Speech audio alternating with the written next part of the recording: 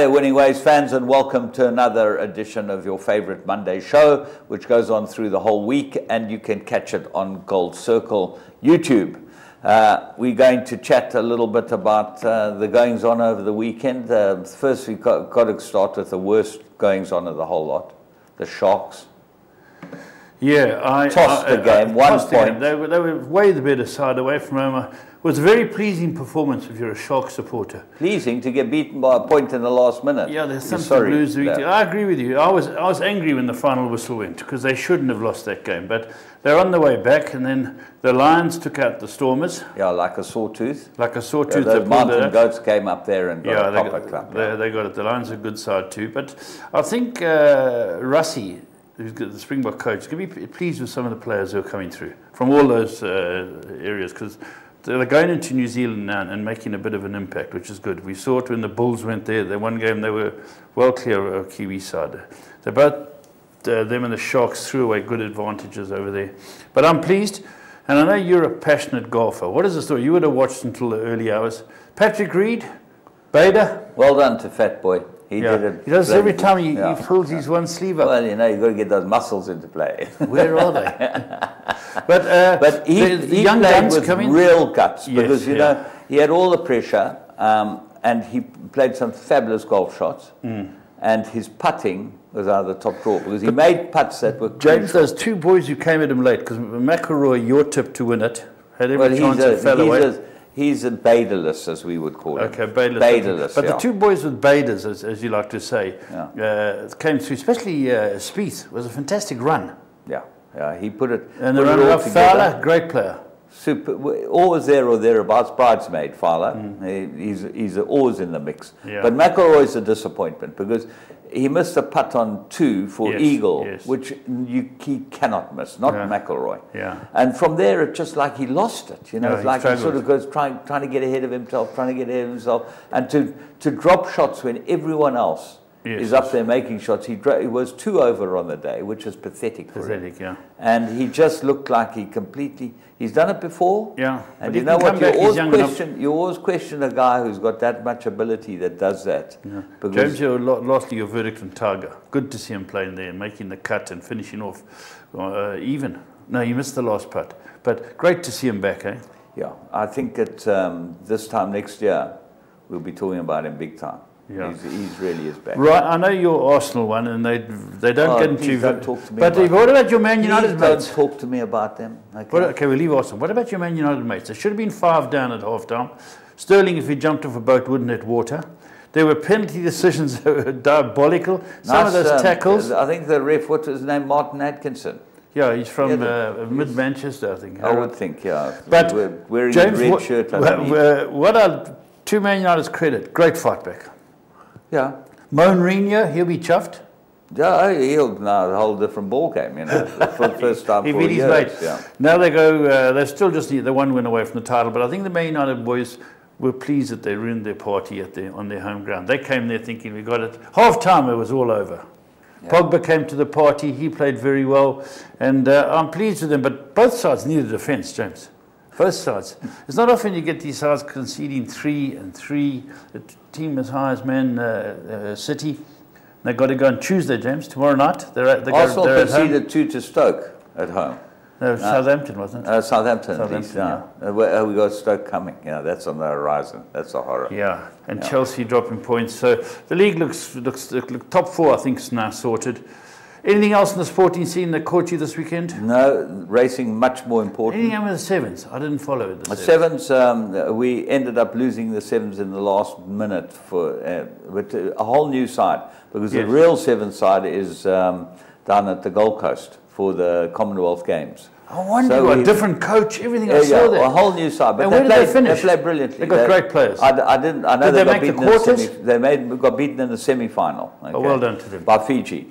They had them, but just inexperienced. But what, what a great bunch of guys. And they don't tackle great. That's yeah. the problem. Well, they run well, but faces. they don't tackle well. It seems to be. Um, well, let's problem. go and look at some horses that ran well that we want to follow. Actually, let's go and pick up the three to follow.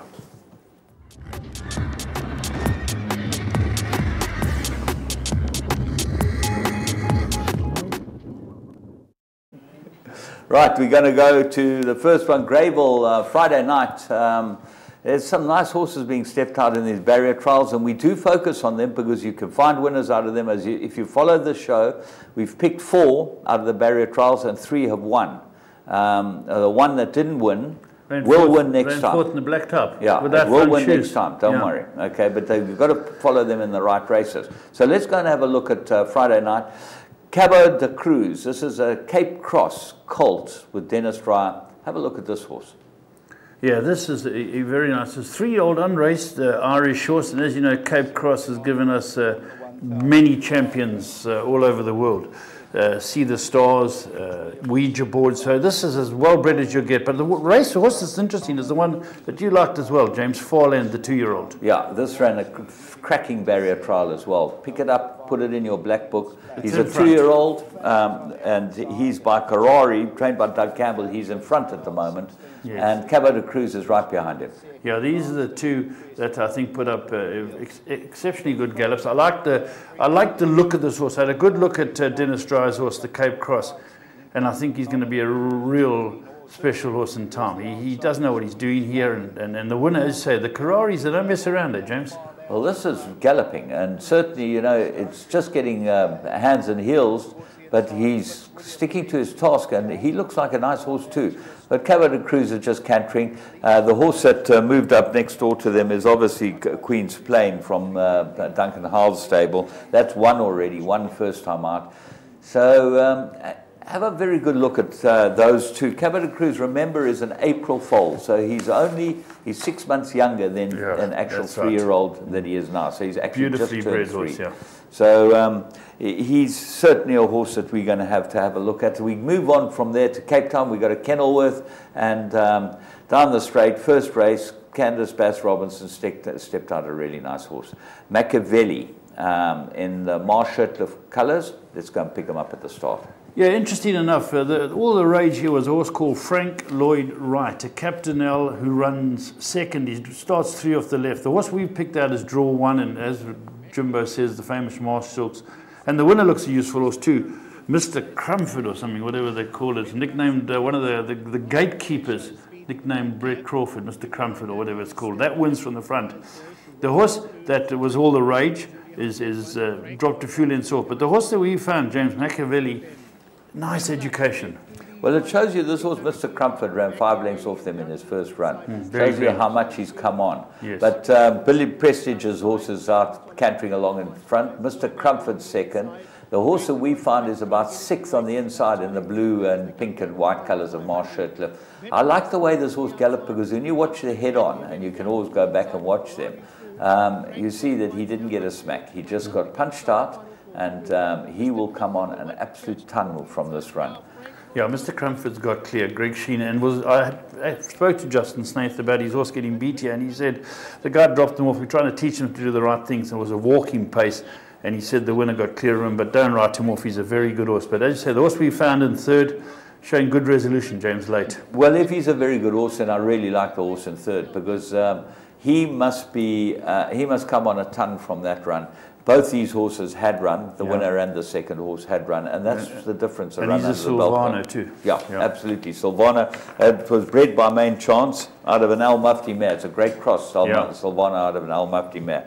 Let's go and have a look at the third one, and we go to Greyville on Sunday, another barrier trial. Uh, we picked up Checkpoint Charlie um, in very famous KwaZulu-Natal colours. Um, these guys are big supporters, Priggy, isn't he? Yeah, absolutely. Well, uh, yeah, this is Priggy, Priggy Sinasundram. He's Yeah. got horses with uh, a few guys in Joburg. He's got with Tony Rivalland. He, he's one of the big players. He's quite a healthy guy too. Yeah. You know, big guy, he strides around, and he's a, he's a good lad. So Yeah. well done to him. Looks like he might have a nice horse. Prince has got his horses ticking over very nicely. And he's good with the barrier trials. They come out after Yeah, the barrier, barrier trials trial. and they win. Prince is very good, So we have a very close look at them. Have a look at this one. It's, Prince it, is there's a lot of Hill, horses. For of you that know. a lot of horses uh, uh, work well in this race, and interesting because uh, just before we show the race, James, people are waiting to see the secret is out. Yeah. and and uh, lovely barrier trial. The stay met very good barrier trial, but your horse comes from near the back.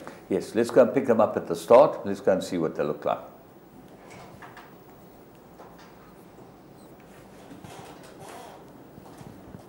There you go. Um, you'll see that uh, You'll see that in front is uh, the Roy Zara, and Yes. the Secret is Out is up next door to that. And in behind that is uh, Vaughan Marshall's other one, the Captain Al. Yeah, this it's- runs a cracking race. this called Charge de Fairs. It's Yeah. in the white Take it- cap. The horse that James has found in Preggy's colours is at green and black, third last. And they, even though they finished in a bunch, this this uh, this crew, I did like the way that uh, your horse Checkpoint Charlie quickens up. He's a brave tin soldier.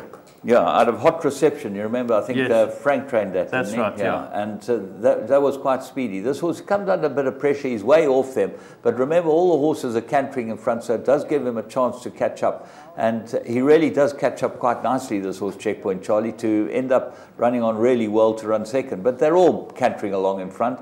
Have a close look at the one in the blue with the white cap. That ran a very good barrier trial. But I like the way this horse finished it off, Yeah. especially against older horses as well. And Yeah, that's, that- that's the also key. That's the key. the big key. Yeah. So um, that was a, a good barrier trial by Checkpoint Charlie. We'll keep that one in mind. And uh, Vaughan Marshall's um, Captain Al Filly, that certainly looks like worth, well worth having a look at. Um, we're going to move on and see what shouldn't happen.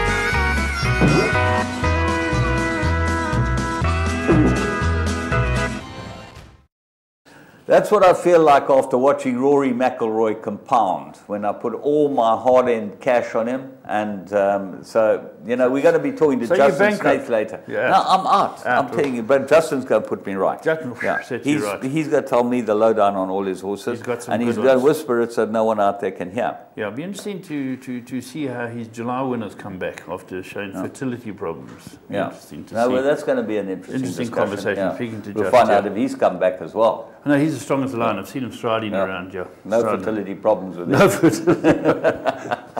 yeah. Right, we're going to have a look at um, the plum of the week and uh, give you one that you should have picked up because uh, we told you about it.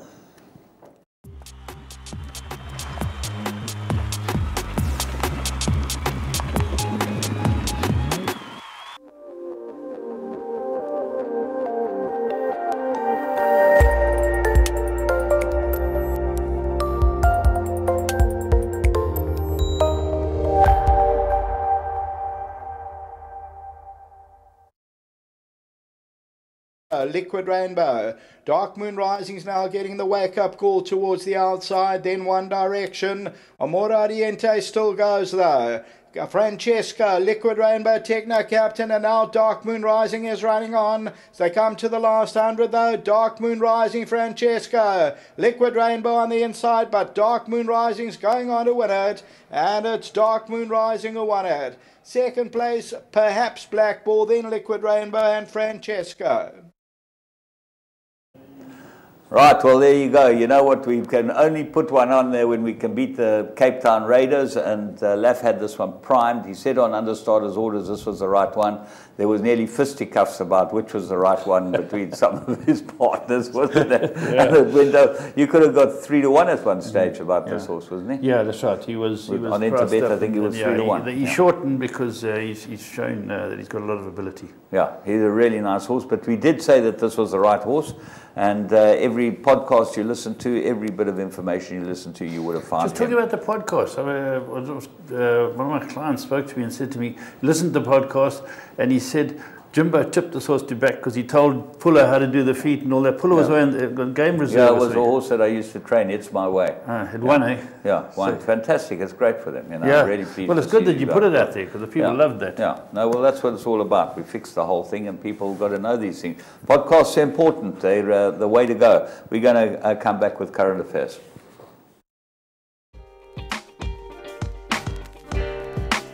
Well, the key features for me are I play a lot of soccer 10s, soccer 6s, and soccer 4s on the tote.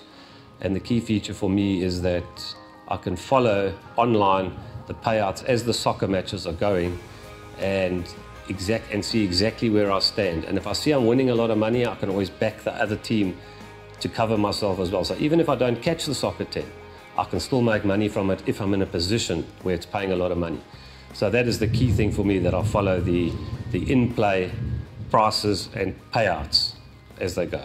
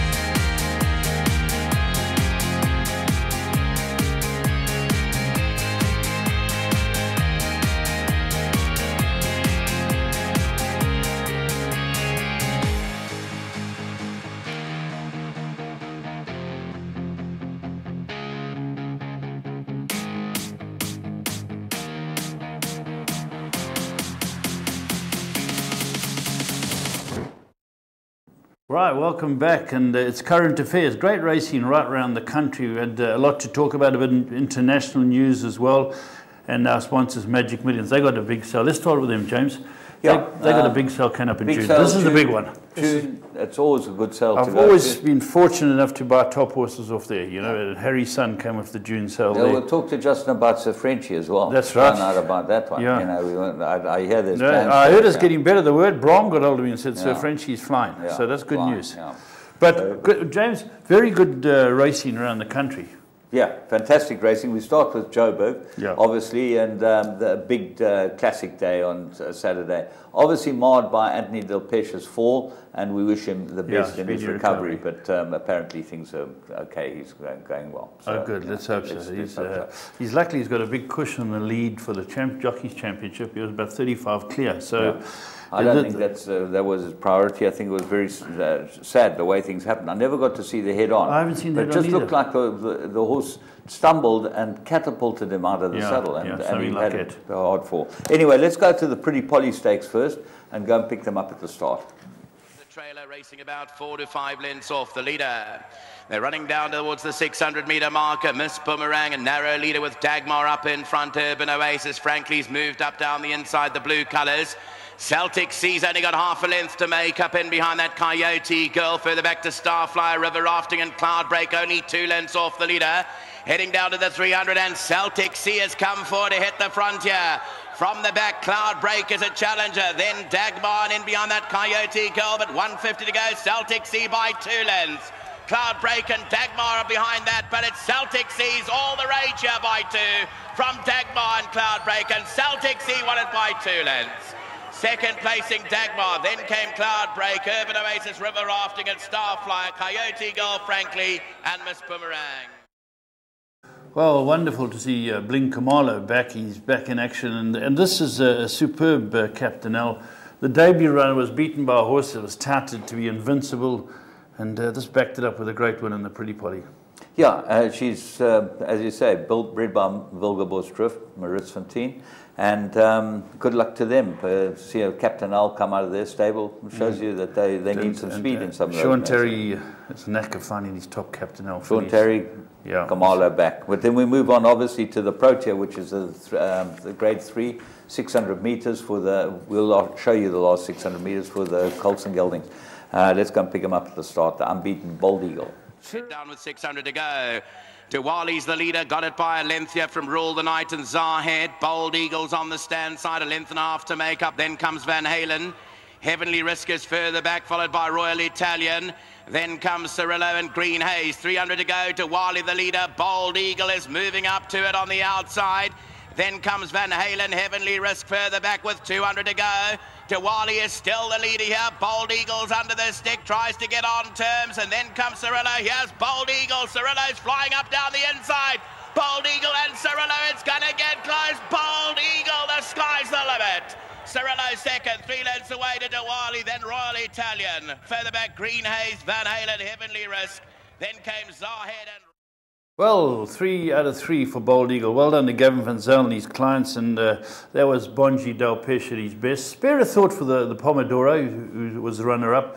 Could lift again, Cirilia. Yeah, absolutely. Made up a lot of ground the, in the final 400 meters. But uh, this horse was bred by Rio Stud, and yes. um, his uh, son of Bold Silvano. Interestingly enough, Mike de Kock wanted to buy this horse at the sale, he told me. Yeah. And uh, the vet, two vets failed it. And uh, Gavin went and bought it, and it just shows you here's one three from three. So yeah. you know what you yeah. don't know. No, you never know about these things. What uh, no, people find right, wrong with horses and right with horses. Yeah, good, good for the new stallions. You know, Bold Silvano and, and of course Pomodoro. Good to see them. Yeah, we go on to the Man of War. Um, grade three. This is the sprint uh, of 1100 meters. Let's go and see them from the 600. Side ahead of Green Plains, Whirly Whirly further back. Vicomte six lengths off the leader. Purple Diamond racing towards the rear with Al Wash. They race down with 500 metres left to go. Pinnacle Peak, the overall leader from Pera Palace. Down the centre is uh, down to zero. Further back to Premier Show. Mustaqim's under pressure at the moment. Five lengths off the leader. Further back in the field comes Green Plains and trying to run on his San Fermin and Vicomte. 300 to go, Pinnacle Peak down to zero. Green Plains emerging from the pack. Then Premier Show, Prince of Cahal. Pinnacle Peak, the leader from down to zero. On the outside is Green Plains, but Pinnacle Peaks run them ragged here.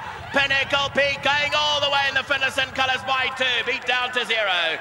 Third place, Green Plains, Premier Show, Prince of Cahal. Then came Vicomte and Elwash. Well, firstly, well done to Dory Sherman and, uh, John Finlayson. He's been a great owner over the years, and Dory produces us in fine it's form. First, I think it's the first group winner in Joburg. So fantastic. fantastic. And you know, James Karori? Yeah, Karori. Every week it's a feature and the other John read it. So you John Everett. all the Johns. We got that name right. John we'll never get that wrong. Creek. Narrow Creek. Yeah. John Everett. Well yeah. done, John. Yeah. Breeds a very good horse. And uh, the Judd pot down to zero, tried hard again, but couldn't beat Pinnacle Peak from the start, James. From the jump, and it ran across the track. It must have run an extra 10 metres. So um, it was a pretty good, a pretty good win from pretty that Pretty good win, yeah. We then move on to uh, the Horse Chestnut Stakes, Grade 1, and uh, Legal Eagle stepped back from his Cape Town campaign and um, showed that he hadn't lost any of his sparkle, although I thought he was uh, tad pressed, pressed at the end. So. Yeah, he is a six-year-old, but I think this is uh, nine over nine over a mile. Yeah, Marcus, it's, Marcus, absolutely brilliant. Brilliant rider. Arthur brilliant. Marcus, a genius on horse. And James, this horse, it's the eighth Group One race win. Yeah. You know, I, I remember you look back at Jetmaster, who was such a brilliant horse. He won 10 Group Ones. You know, the Mies won 10 Group Ones. These are super horses. This is one eight. Yeah. Fabulous horse. Let's go and watch him at the start. 1,500 metres and fired away. Dare Javenti was slow, as was Romany Prince, not too well away, but Legal Eagle bounced away in front here. So Legal Eagle, the early leader from Another Russia, who's gone up second. Brazuka's in third. They're not going that quickly up front, and Legal Eagle's doing it at his own gallop. Unagi's back in fourth. French Navy's in fifth position, four lengths off the leader. A length back to Romany Prince, who's on the outside of runners. Further back to Deo Javenti, and Orchid Island settles in at the back end of the field, seven lengths off the leader. They race to the side of the course with 1,200 metres to go, and Legal Eagle still doing it at his own fractions here, led by two lengths from Brazuka in second. Another Russia racing away in third. Another two lengths away to French Navy and Unagi. They five lengths off the gallop here. Romany Princess two lengths away. Behind that comes Deo Javenti. And Orchid Island is at the back end, seven or eight lengths off the leaders. They bound for home in the HF Oppenheimer Horse Chestnut Stakes. Legal Eagle says, catch me if you can. With 700 to go, he's gone two lengths clear of Brazuka. Another Russia stalks them back in third, and then comes Unagi racing away to French Navy, and then comes Romany Prince. 500 to go, Legal Eagle by a length. From on the outside, another Russia puts on the pressure. Nagi's behind that, then comes Brazuka. 300 to go, Anton Marcus asked for more, Legal Eagle, and the response is immediate. They pull a length and a half clear of another Russia. Unagi's down the inside, but Legal Eagle maintains the advantage with 100 to go from another Russia who tries hard. Legal Eagle, half a length clear from Another Russia and unbeaten over a mile. Legal Eagle, South Africa's champion. Beats Another Russia, four lengths away to Unagi, then came Brazil. Well, there we are. What people wonder why uh, Arthur Marcus is, is King Arthur. This is a fantastic ride. He dictated James. He let the young man come on the filly, just gave him a little bit, and then kicked at the right time. Exactly. Just as he had pushed him more slightly off a straight course, but Yeah. brilliant race riding. That's it. That- that- everyone should watch that race Yeah. ride, James. That is a masterful race ride. And uh, well done to Sean Tarry. He's kept this horse on the boil. Another Group 1 win for him and this horse.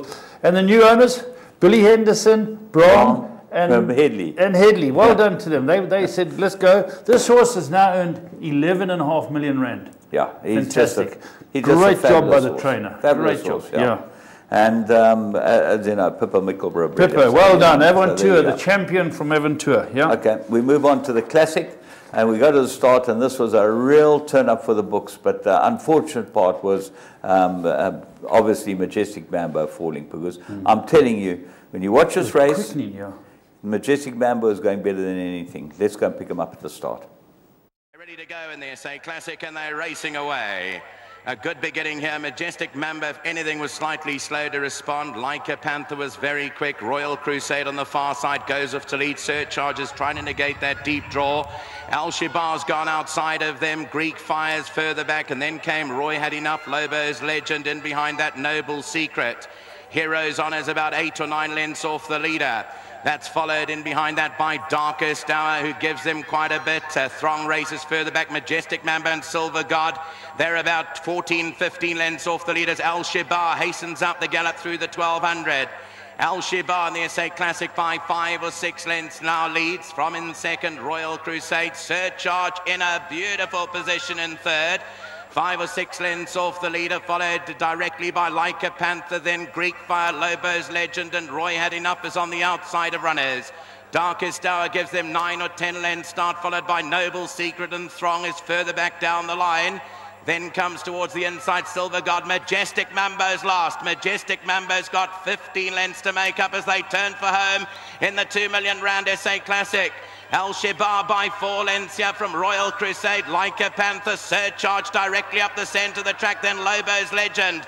Greek Fire starting to make a bit of progress on the outside. Then comes Roy Had Enough. They followed by Darkest Hour and Silver God. 400 metres to go. Lobo's Legend surcharge like a panther. They pick up the advantage in the classic and the boys down. There's a boy down on the Majestic Mambo. It's in front here. Lobo's Legend by a length. Surcharge like a panther. Wider out is Noble Secret. Lobo's Legend in front in the classic. Surcharge tries hard. It's Lobo's Legend clear by two. Lobo's Legend has beaten Surcharge like a panther. Noble Secret. Roy enough. Then Silver God. Further back in the field was Throng. Then Heroes Honor behind. Well, the humble hero, Joe Soma, what a masterful feat. This horse hadn't been beyond sprints. And uh, he got all his mates and he took a share himself. Nice to see Mark Curry, Jeff Schill, uh, Larry Nestadt, J, J, oh, JJ, what do you call it? JJ. JJ, the jet plane. Yeah. This is fantastic for them. And, you know, Trippy, people are looking for uh, Trippies. You know, you've got Gold Standard who went met distance, but they, they speed horses. This is a training feat par Un- Unbelievable. When you just go from six furlongs and suddenly put the horse in the classic Group One, never been in this Wins time. comfortably. and he won well. He won a very good race. The Um, humble, well done to Humble Hero and Gabby. Yeah. A great team, and you, you give Joe Soma the right horse, the right result. So well done to all of them. I'm very, very pleased for all of them.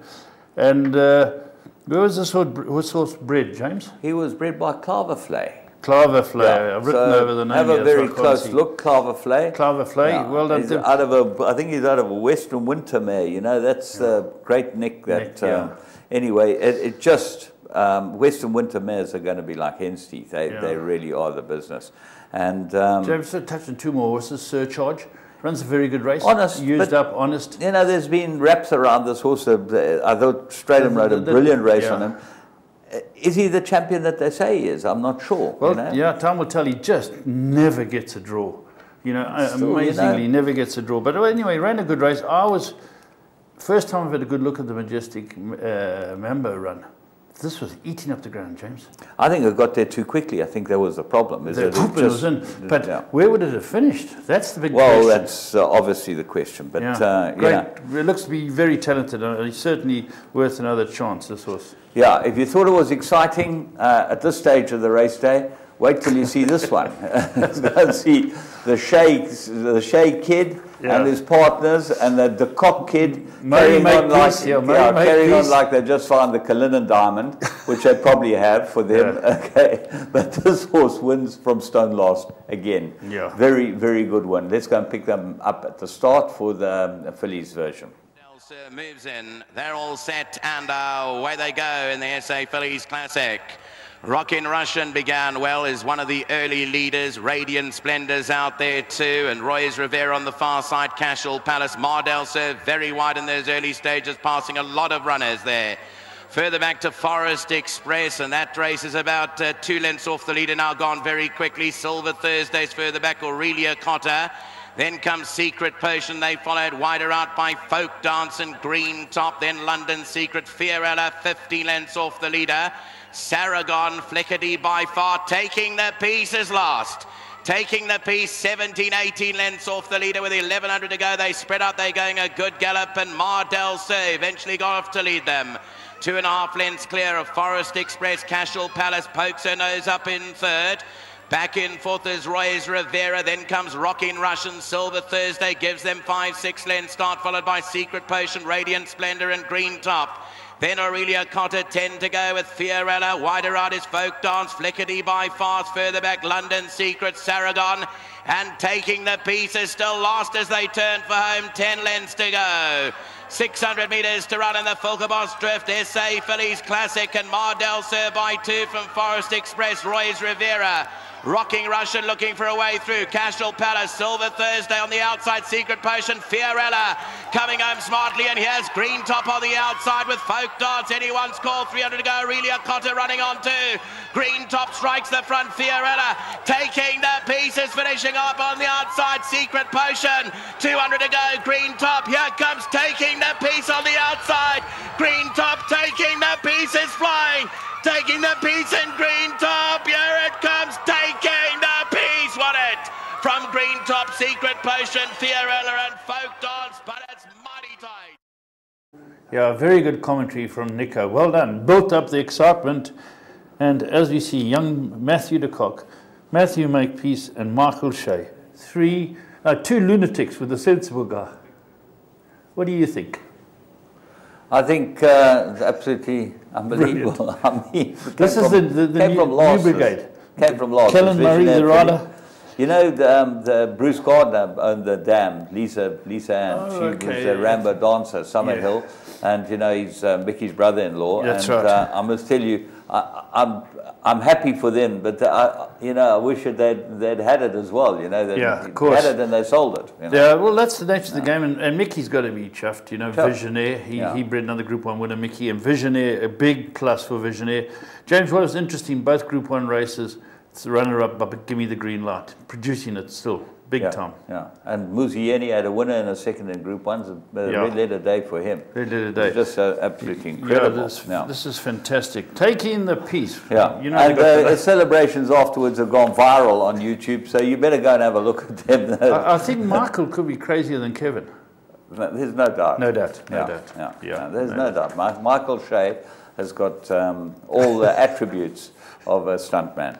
Okay, we're going to move. In, we're going to move on and see, the- Gold Cup, the last Yeah. 600 meters. off the leader and Bondi Blue is the trailer. Homeward bound in the Caradoc Gold Cup 600 metres to go. Witchcraft still leads the long distance field from Dromedaris and Kitty's Destiny. Sheetweaver's got three lengths to make up. Then Odd Rob the Elmo Effect just cruised in as now starting to run on strongly. In behind that one comes Tumbalong 350 to go. Down the inside Kitty's Destiny Dromedaris just cruised in is coming home strongly on the outside. Odd Rob then Sheet Weaver behind that comes the Elmo Effect but just cruised in has picked up the lead. In the Caradoc Gold Cup goes two lengths clear and just cruised in's going to beat Kitty's Destiny just cruised in two and a half Kitty's Destiny, Odd Rob third. Then came the Elmo Effect, Sheet Weaver, Pagoda, followed by Dromedaris, Storm Warning. Then came Tumbalong. Bond Yeah, there we go. And uh, a big plug for Just Cruised In because by Just as well, Yep. Bruce LaRue. Yeah. And uh, this I good think he's a huh? nice horse just as well. He just really hasn't had much yeah, chance. chance. you know. He, he, if you can throw these horses, you've got a chance. Yeah. So, James, was that the end Chesney, of Chesney Gauteng? Van Zyl and Warren picked up the ride and, Yes. and they won very easily. Doing Then we very well obviously- up there. Yeah, Van we obviously Zyl go to Sunday. well. Um, Yeah. And uh, we had two feature races here in KwaZulu-Natal, and my goodness, they were power packed. Quite nice fields for Group 3s. Let's go and pick them up at the, sto- at the 600 for the Bali Turk. Barello's on the outside. Casimir's about seven lengths off the leader at this stage.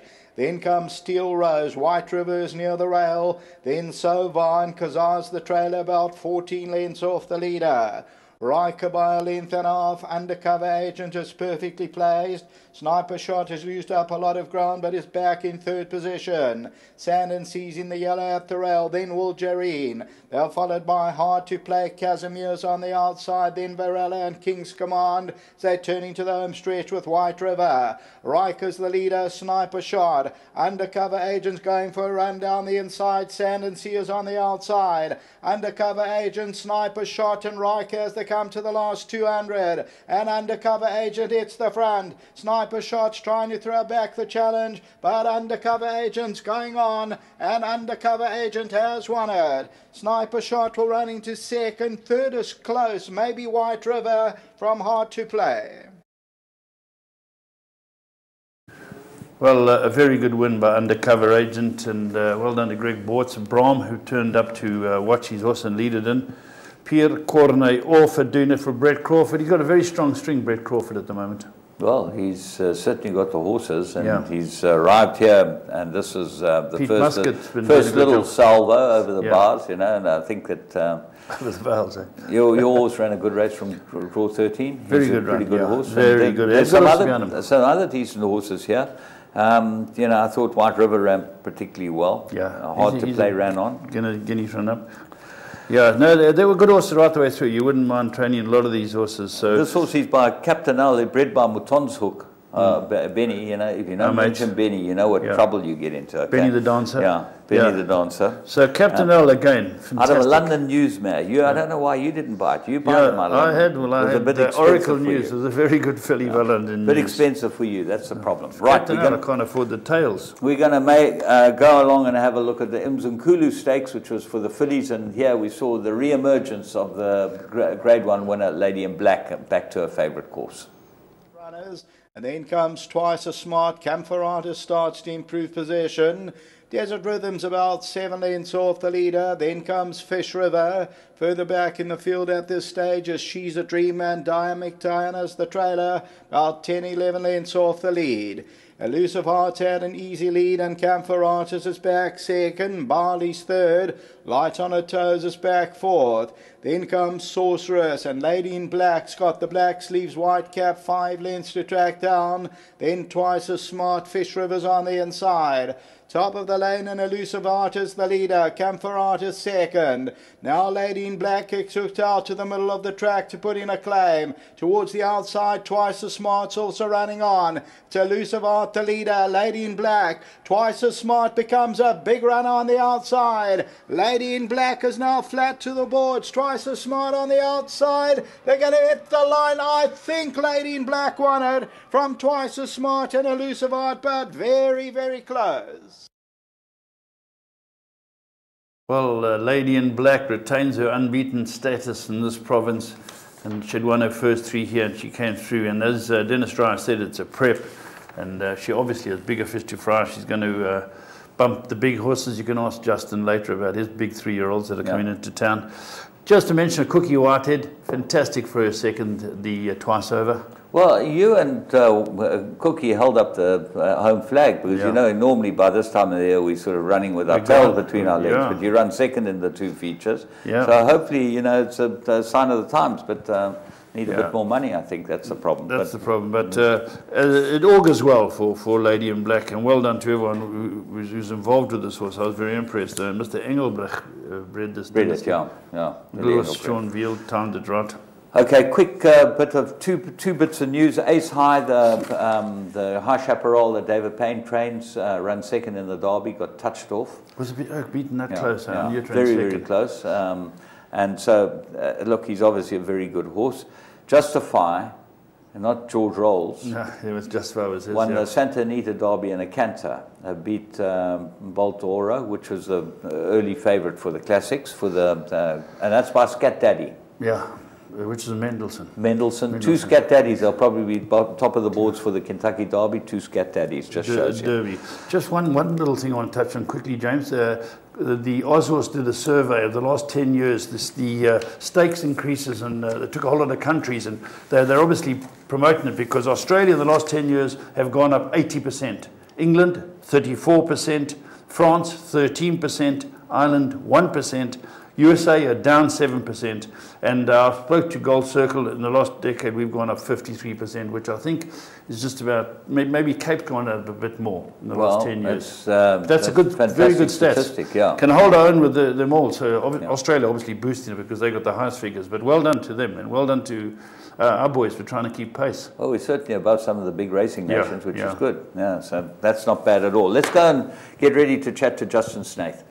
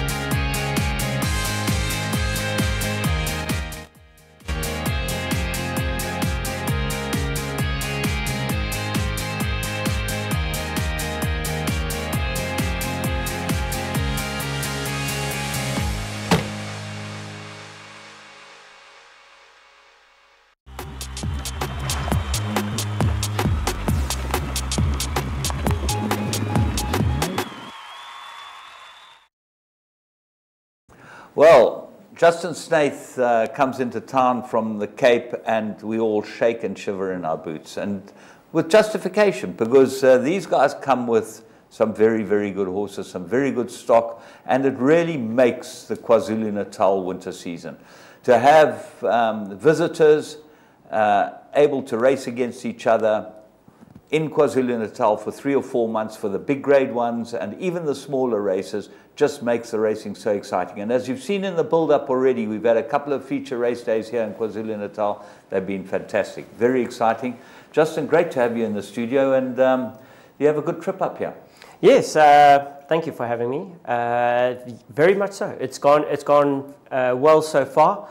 The travelling up was all good because it is a long trip. It's a It is, it's a, people don't realize the logistics. Where you stop in Bloemfontein, correct. We stopped there for about two, three hours. Let the horses have a, a, you know, to just relax a little bit, get a bit of food and water back into them, and then back on the truck and uh, into Natal. So it, it, it, it's a, it's as, as far as you can go, to be honest. Yeah, and on top of that, people don't realize that horses traveling, they don't um, dehydrate, they, they don't pee, they, uh, you know, some of them get very uptight and get travel sickness. Do you have any problems? No, I, we, we've been doing it uh, for quite a while. And uh, also, I, I spoke to um, Comani when they were here, you know, how he, her father uh, traveled horses into Australia for the Melbourne Cup and things like that, because he's, he seems like a very good trainer of that. So, sat down with them for a while and picked up a few tips. And for myself as well, over the years, just uh, making it happen. So, it's, it's, it's months of of planning, even to the point of putting certain horses on certain floats in case things go wrong on a certain truck, like let's say a puncture or some anything like that. That uh, not all our eggs are in one basket. So even there's lists on who's on which truck. Uh, a lot of time and planning goes because your season's done if you don't get that part of it right. So we start with that. You've, you've had it before where you've come here and things have been completely wrong. You just packed up and gone home. I remember about, what, six or seven seasons ago, it just all went wrong for you. I, I'm a firm believer of that. Uh, it, I bring horses to Natal. I had a horse run on Saturday. It played up and it, it, she got left in the gates. The starter took t- certificate away. I said, Well, the filly's not happy here. If I have to take it home immediately, I'd rather take it home. Obviously, the owners might think differently, and uh, if they say, No, no, we want to, you to stay there, then we stay. But uh, I, we come up to, to Natal thinking, oh, well, every horse is going to win races. It doesn't work like that.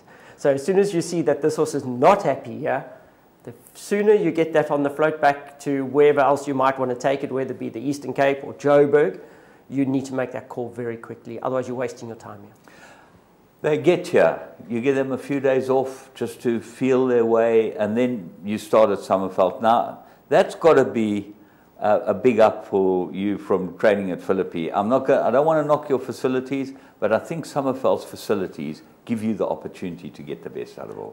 Look, I'll be frank. I mean, if some people get upset, well, that's your, I'm not going to worry, but the truth of the matter is some of the training facilities in the Western Cape are shocking. Mm. But I have worked, I've never worked, I actually lost some weight. I don't know, I'm always wondering how I've actually lost a bit of weight because my eating hasn't changed uh, and I exercise less. But I have worked on our farm in Cape Town like I've never worked before to up that to, to maybe the level of some of the other training areas in South Africa, like Turffontein, Randjesfontein, uh, Summerveld. I just feel in Cape Town we, we're going backwards. So, but we've got a beautiful private farm that we train from, and I have spent the whole summer and winter getting it up to a level that I think makes me feel more comfortable in the Western Cape. So uh, I think I've gotten it right. I had blisters and cuts. Uh, sunburn, getting this farm to where I think. So when I come to Natal, Summerveld is just world class. It honestly is. You don't, it's hard training on your own farm. You've got to worry about tracks, maintenance, this and then the other, managers, all types of things. You arrive at Summerveld, you leave it to Tony Rivalland and have a go. You know? Correct. I mean, every year I come back, he gets greyer and greyer. the stress that he puts up with all the trainers. Which, and I tell you what, your trainers don't know how lucky you are yeah. that you have someone like that that is taking all the aggravation, all the stress, of, of maintaining Summerveld in the condition that is. Every year I come back here, things seem to get better and better. So, uh, as I said, it's become a big part of our training. I'm half Natal, uh, uh, from half my family are all from Natal anyway, so I'm starting to feel like it's becoming. Uh, I wouldn't even say a second home, but certainly, you know, a, a, big part of our, our time is here, and my family are all coming up, and, and we give it a good go. If I want to come here and compete, I want to do it at, at, at the best that I can. You want to be comfortable and at home with the place. Correct. Obviously, you have extramural activities as well, and I know that you're uh, a budding Springbok polo player, and that's very important in your life. And I think it's great because it shows what type of horseman you are. You're not just a trainer, and there are a lot of people out there that just train horses, and they, they really have never even sat on a horse. You live and breathe horses. Well, you would, I mean, you'll know better than I do, but it seemed like over time as well, a lot of the top trainers were involved in in, in polo and stuff like that, and you know, just keeping involved in the horseman side of it. I think it's very important. Also, which I, what I enjoy a lot is I, I am the pony welfare officer of the Western Cape with polo ponies, and uh, I enjoy that part of it as well. So, you know, there's always, in the old days, uh, you know, people were a bit funny about the way polo ponies looked, and we've changed all that, and, and uh, it, it's, it's something I enjoy, to be honest, and it's, it's so, it's so uh, social uh, yeah, and I hope my daughter plays one day. Ah, I'm sure that there'll be. Uh, I keep away from why racing. Don't, why don't you Why don't you produce a whole polo team like my father? You went and produced six and had two reserves. No, you know, no, no, I'm too busy to have uh, that many kids. But uh, you know, I love my my daughter, and uh, I will until the day she comes down the road with a jockey. So, uh, polo player, I don't mind. The day I see a jockey come down that driveway. Argentine polo player, be careful of those guys. That was probably, probably right, but yeah. we have a good agreement. Yeah. Justin, okay, let's get to the horses. Now, it takes tremendous amount of um, effort to get this whole thing on the road, but then to pick out the horses that you want to bring here. How do you go through, you've got a big string, how do you go through the horses and work out what you want to bring here? The program only comes out in April, so it's very hard to know what's coming. Well, look, the good thing is that we that it, it, the way it's gone now. Uh, from the old, in the old days, the guys used to load up a, a, a, string of horses and come up here and compete in all the races. So I try to come here and compete for the right races. I come here for the feature races. I'm not going to waste my time bringing horses up here for the smaller races uh, because also they need to fit into the whole thing. You've got a right-hand turn up, up a hill. You've got Scottsville downhill. You've got to, you've got to try uh, uh, predict what might happen. I think very important is a horse with a temperament.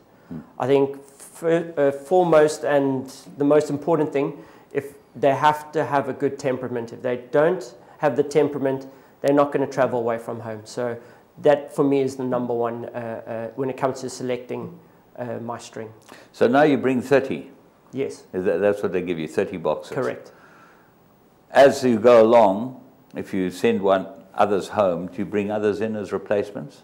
Well, like I said, I do, I do want to, if I feel that I'm not gelling with a horse here in Durban, mm. it's got to go back to Cape Town. Mm. I put, the, I put the, the pressure on and then, yes, replace it with something else, maybe, maybe a two-year-old or maybe something that's improving a lot in Cape Town. You've got to be able to do that because there's going to come a time now where in the season, Natal will close for African horse sickness, or Cape Town will close. Mm. So you, we just got to get that sorted out before that happens. Otherwise, then we're stuck until the end of July here. Okay, so now the plums of the season. Obviously, as far as the two-year-olds are concerned, let's start with the two-year-olds. You've got the Golden Horse, uh, the Sprint, uh, the Allan Robertson. Do you have horses for those two? Not really, no. I, I've, I've changed my whole training, and my two-year-olds are, I don't do it I you just to, put them, give them the winter off, basically. Correct. We yeah. just go slowly. I, I, the, the handicapping system and everything that happens in South Africa, they're pushing us away from two-year-old racing. That's my opinion. The first time I saw anyone start getting an idea of two-year-old race was Cape Thoroughbred Sales Company when they put on a, a race for a million rand. Hmm. Give you some sort of reason. All of a sudden, our juvenile race is filled, and the good thing is those horses then end up in the racing population that's the idea, is to get all the horses out the maidens as fast as possible into, um, into the, all the divisions, which I think we're going too slow with. And uh, as I said, it's just making a lot of us trainers take more time. So two-year-olds, I, I've brought a couple up that we bought. I think you bred one. I don't think you know that yet, but you're going to find out. I bought one that I think you bred, so and I brought it to Natal. Oh, we'll be a champion, you know that. Of course. okay, let's move on to the three-year-olds because the three-year-olds are where you've you really seem to be very strong, and obviously Snow Dance looks like the filly for the, the big fillies race at Greyville over 2,000 meters. Uh, how, how's her preparation, and what do you what, what are you doing with her? Where where is she going? Look, we, we planned it that we're not going to be in a lot of the races. So it, that's just the way it works out. You know, with their ratings and stuff, it's very hard to pick, you know, like a, even a prep race for them. There are no prep races. They have to go straight into the guineas. We're trying to keep O Susanna and Snowdance away from each other. They're both very, very good fillies, and I wouldn't like to see them up against each other. So Snow Dance would be pretty much aimed at the Fillies Guineas and O Susanna for the um, Woolavington.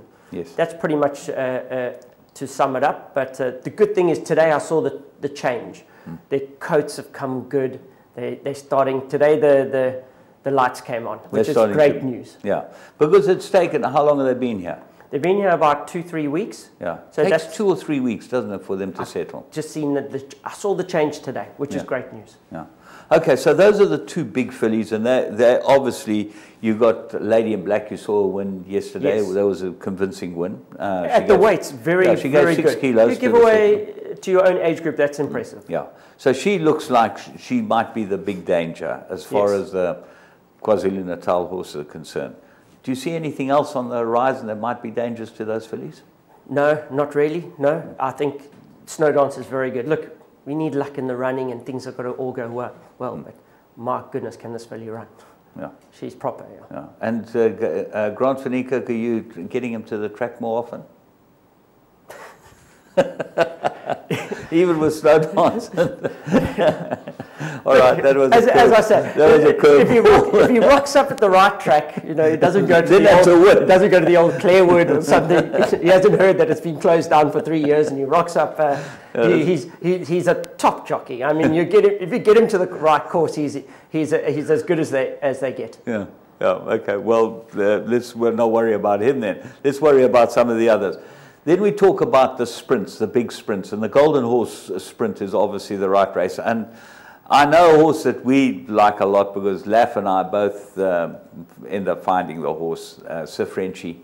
uh, he looks like he's really made for the Golden Horse. You know, I never planned it in the beginning. But as I've arrived here and I've looked at what the condition, how it's going to work. So I've got horses like, let's say, Sergeant Hardy, Bishop Bounty. They're 117s, 1, 2, 3. Yeah, they're going to be 60 how, kilos. How are they going to have any chance there? Hmm. So, uh, Although- and look, so Frenchy, oh, wait a moment, you might come into this race for 52, 53. Hmm. You're a runner. Hmm. So, Exactly. yes, I've, I've, I've actually now reprogrammed and he'll be aimed at that. He's a horse that just seems to have been improving, improving, and he, you go look at his races, he's running against the best. Yeah, absolutely. He's got the form.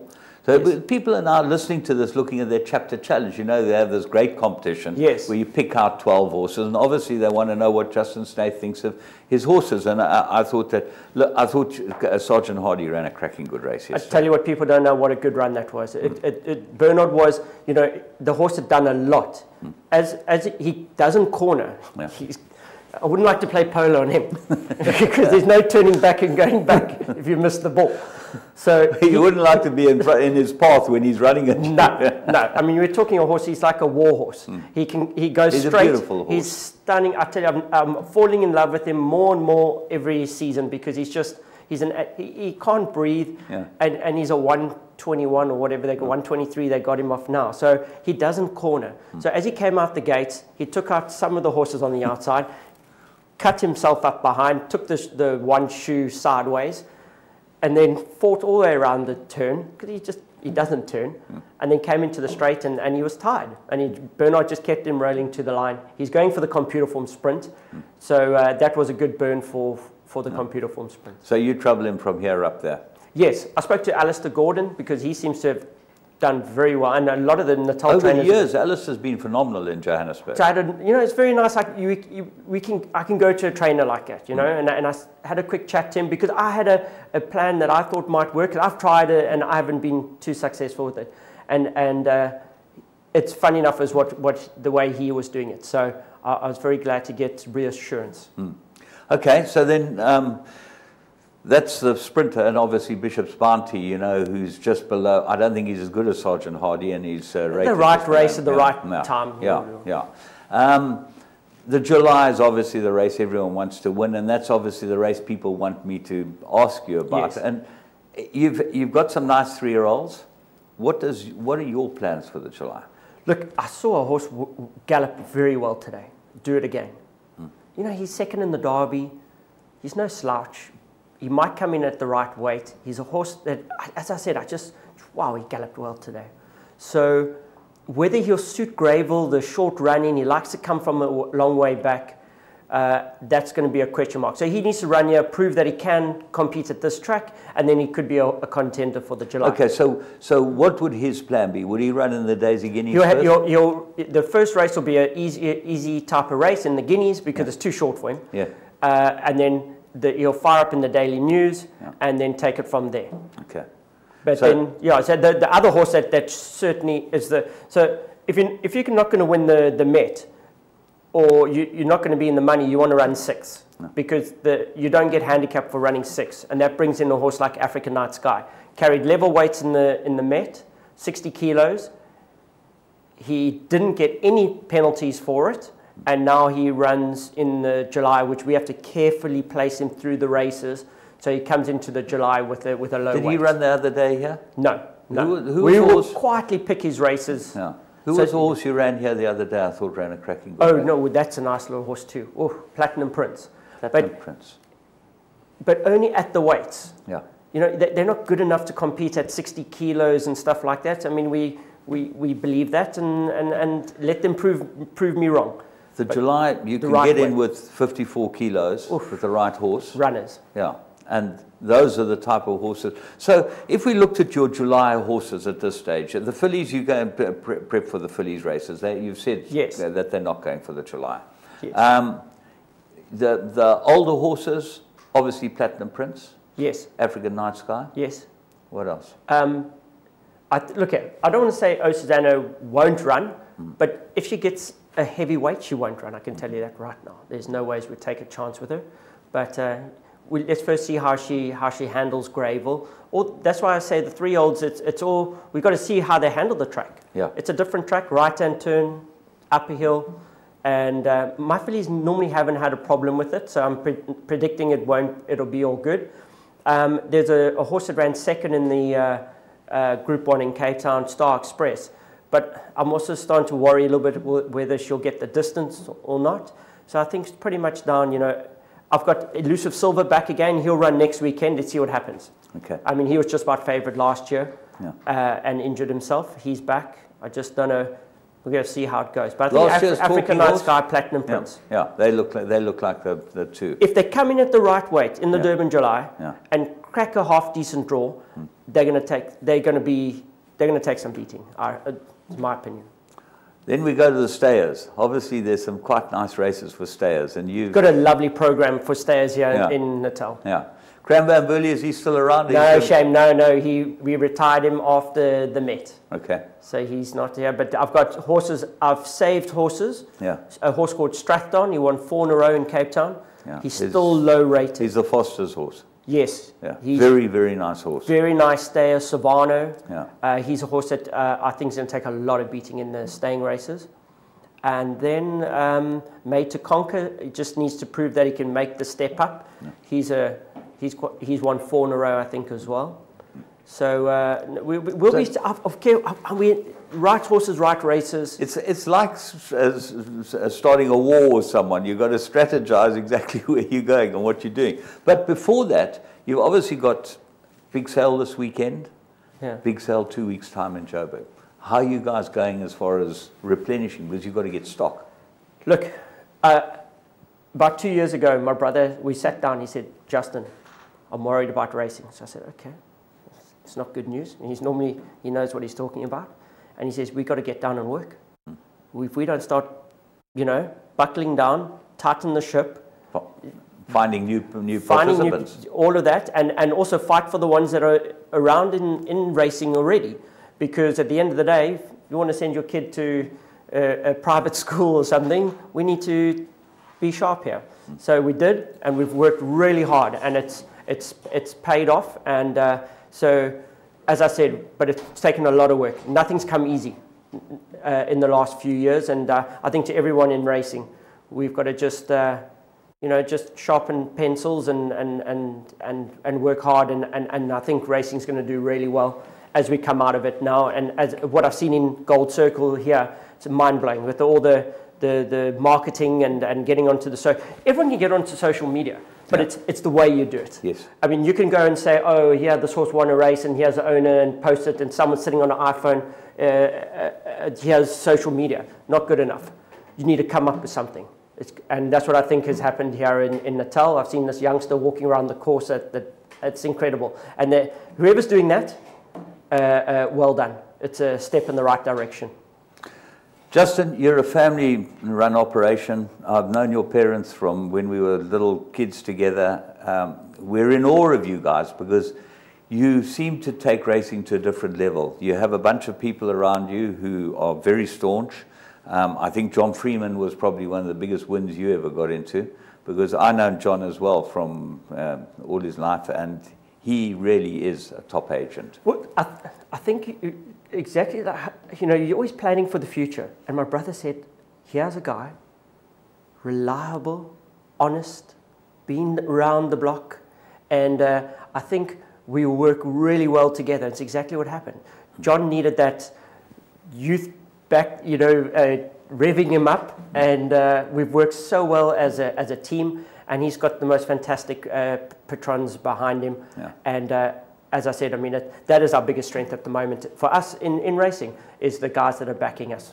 Yeah, and especially your mother and father. Don't forget them. Oh, no, no, I'll be, I wouldn't be allowed home. a lot of trouble. How's your uh, dad going as a grandfather? Uh, no, no. Listen, when I was trying to run you over. Uh, when I was two, he drove me over. I mean, I ended up in ICU, broke my arm, stitches on my neck. No, no, I keep my daughter far away far from away from yeah, far away from jockeys and my and, and, and grandpa. Safest way. Justin, fantastic having you on the show, and um, uh, really, uh, we wish you very well for the season. And obviously, we're the Towel Boys and we want to win, but it's fantastic having you guys in town because that's what makes a season. And thanks for coming to the studio for No, us. thank you very much. And uh, as I said, we just we do the best that we can here, and, and, and hoping for results. And it's not going to come easy, I'm, I'm sure. Well, everyone's moving into town for the big season, and this is the first salvo we've fired as far as winning ways is concerned. Uh, just as a, as a reminder for um, an anniversary, and it's a very, very sad anniversary. Saturday, they're racing in Johannesburg. It's, it's the 30th anniversary of the Henneman air disaster, and we lost a lot of very good friends on that air disaster. Um, I had some great friends on there, and we just want to remember them and remember um, the Basils, and uh, they do a lot to just keep that memory in our minds. But uh, until next week, we hope you have a great week's racing, and we'll be back with another important guest next week. Maybe not as important as Justin, but another one.